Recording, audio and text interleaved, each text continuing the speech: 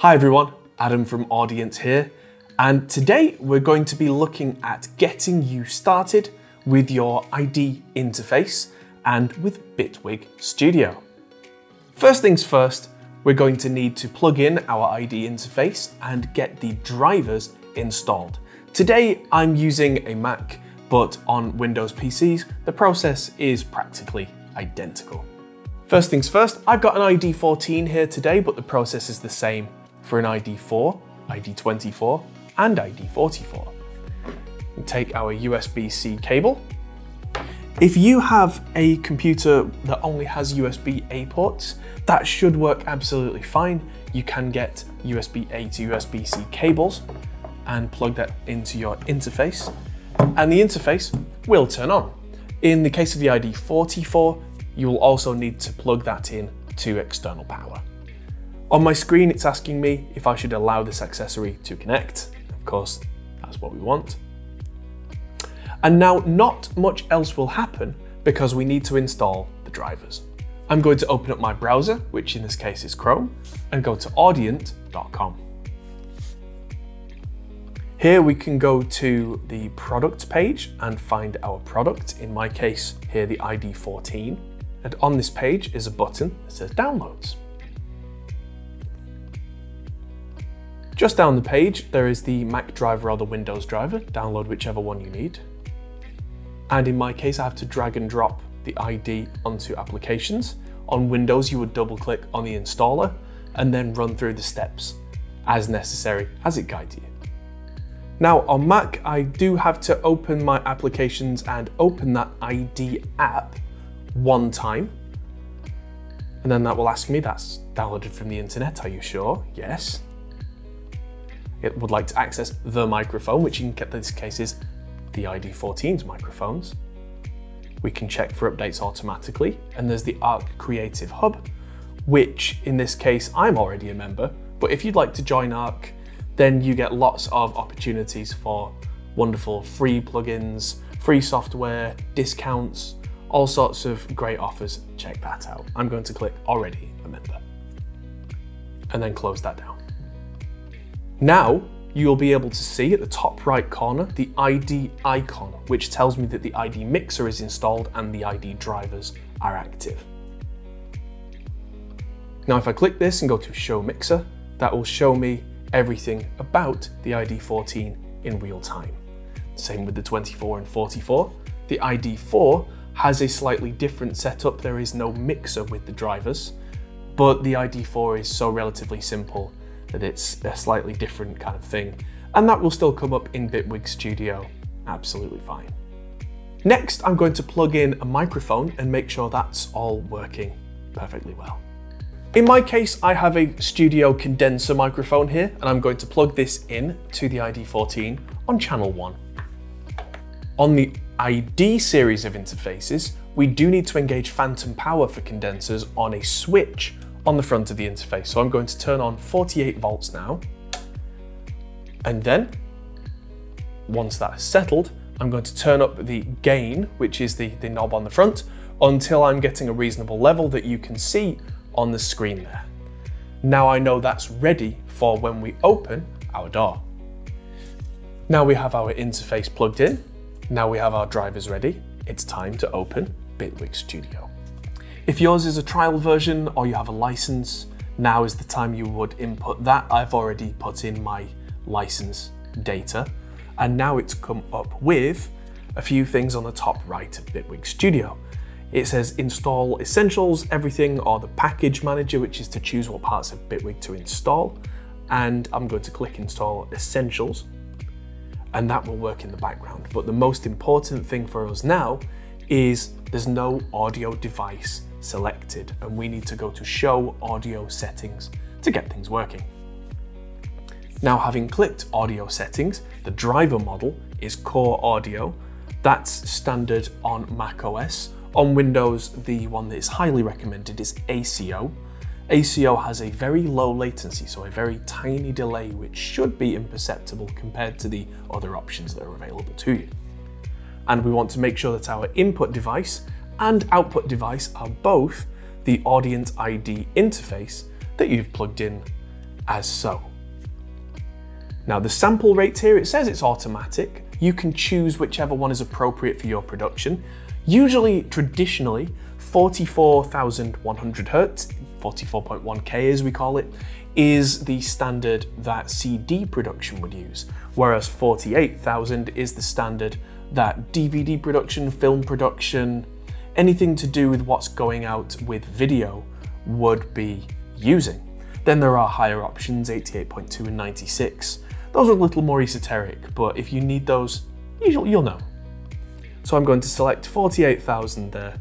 And then block size is currently on auto, but I can change the latency. So how quickly the audio goes from this microphone or any other source like a, a MIDI keyboard or anything that's making the sounds through Bitwig Studio, through the Audient ID interface, and back out through your headphones or monitors. Now we can choose input buses here, so we can add different ways that Bitwig can access the different inputs. In this case, the ID14 has 12 possible input buses here, which includes the digital optical inputs, which we're not using right now. We're going to use the simple analog inputs. So where there's stereo in, that might be used if you had, say, a stereo synthesizer plugged in. We're going to add two mono buses. So I'm going to have mono in one and mono in two to be inputs one and two off the ID14 respectively, so that if I want to record just this microphone, which is plugged into input one, I can select a mono bus in Bitwig for input one. The output buses, we have output one and two, which is the two jacks on the back, or by default through the mixer is also the headphone mix, is defined as output buses, and it says it's speakers. I'm going to change that to headphones, but you can leave that as speakers if you're using monitor speakers. And we could, if we choose, have completely different mixes for headphones and speakers. In that case, you would have to make sure that you're using the ID mixer with the DAW through mode, which if we show the system panel here, is if we look at stereo 1 and 2, stereo 3 and 4, they are set to the main mix and alternate speakers, which is also the main mix. And then the headphones are also currently set to hear the main mix, which would be one and two. But if we change that to DAW through mode, that will warn us that that could be loud. We hit OK. And the headphone output then is defined as five and six, as we can see here from the output numbers, five and six. If we go back to Bitwig Studio now, we can now define the speakers as speakers and we could hit add headphones and make sure the headphones are 5 and 6. And now Bitwig knows that our speakers would come out on the 1 and 2 TRS jacks and that our headphones come out on 5 and 6. You don't have to do it this way, but it's a way that Bitwig Studio is designed to be able to be used. Now if we close down this page, this opens up the main Bitwig Studio. And we can click Activate Audio Engine at the top left. Once that's activated, Bitwig Studio is now live.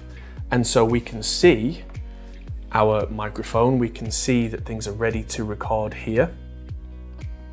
So if we want to record a microphone now in Bitwig Studio, we can see on our default example here, there is an audio channel, audio 2. And what we have to do is set that up. If we look at the bottom left, it says there is no input. So where it says no input, we click on that and we can see now some levels coming in. There's stereo in, which would only have this microphone on the left side because of left and right. And below that is the mono in that we defined in the settings. So if I click mono in and now hit record on the audio 2 channel, we can unrecord the instrument, but we can see now that the levels are going up and down on audio 2. Now, whether we can hear that or not very much depends on input monitoring. Now, if we want to record some audio, we hit the record at the very top and then we hit play. So record, then play, because record arms the tracks ready to be recorded on, and then play means that you can now see the audio coming in on those two bars. If I hit stop by hitting spacebar, we can now see on the screen here that our audio was recorded in. If I make that a little bigger, you can see the waveform audio. Now, if you are getting the kind of problem where you can hear your vocals twice, that is a monitoring issue. If we look at the ID mixer, we can see levels coming in from this microphone, but if I pull up this fader, that will give you the near zero latency monitoring through the ID device itself. So that's going straight from the microphone out to the speakers or the monitors. This is great for having almost no latency, but the trade-off is that there will be no effects processing at all. That sound is going straight through from the microphone straight to your output device. If we turn this fader all the way down, we then won't hear it through the ID mixer, and then we have to listen through Bitwig Studio, which will incur a small, tiny amount of latency or delay, but the trade-off here is that we are able to use Bitwig Studio's inbuilt effects, whether you want to use distortion, delay, any other kind of processing that you see fit, you will be able to hear that through Bitwig Studio by doing it this way. If you want to add audio effects onto your vocal in Bitwig Studio, you can see them all on the right hand side here. So I could drag and drop something like distortion onto Audio 2, and suddenly that distortion appears in the chain here. But like I said, we'll only hear that through Bitwig Studio using the sound from that, and we wouldn't hear that in the near zero latency in the Mixer app. If you can hear a strange effect where it sounds like there are two copies of the recording happening at the same time, I call that ghosting.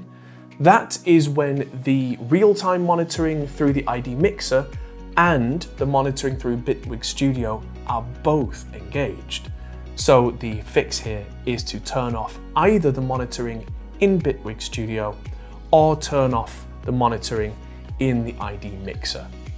I hope this is enough to get you started with Bitwig Studio. Thanks for watching and good luck. If you need any more help, we have lots more resources on our website at audient.com. And if you're having trouble, you can always contact our support team. Thanks for watching, and I'll see you soon.